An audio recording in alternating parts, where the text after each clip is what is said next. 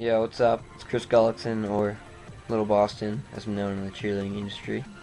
But I've just, it's 2 in the morning, sitting here getting ready to tell you guys why I flip and my position on flipping. Well, basically, I started off, I started flipping three, three and a half years ago. My brothers, they're the ones that got me into flipping.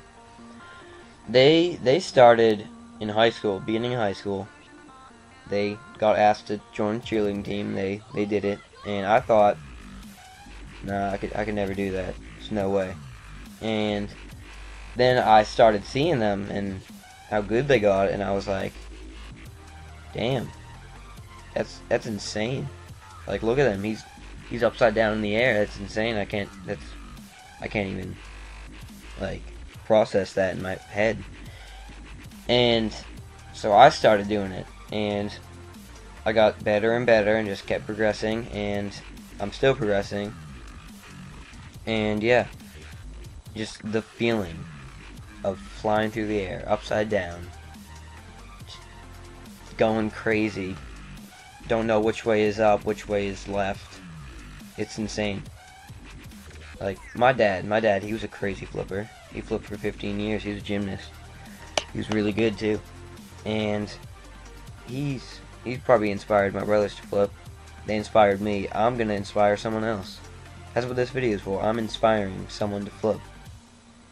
And I've got a lot of friends that flip. I'd say about one half to three quarters of my friends flip. Not just cheerleading friends. Just my everyday school friends. I got friends that flip. Why not? Like, why not? Why not be able to say, oh, look at me. I can jump up and go upside down. Can you do that? Yeah. But you know what? That's that's what we're here to do. We're here to teach people how to go upside down. Because the adrenaline rush. I come I I've done a lot of flipping sports. Like motocross, snowboarding, skateboarding, surfing. It's I mean they flip. Why can't I flip?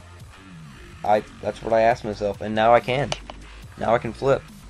And when you get out there and flip, you see people like see people like Landis, see people like Brendan McEwen, Ty Hill. You see them out there going knucking futs, just like quadruple fulls, doubling back outs, just like insane. Like there is no stopping point in flipping. There is no like progression does not end in flipping. There will always be people that are coming up with new new things to be able to do. And more power to them because that's what it's all about is just moving forward.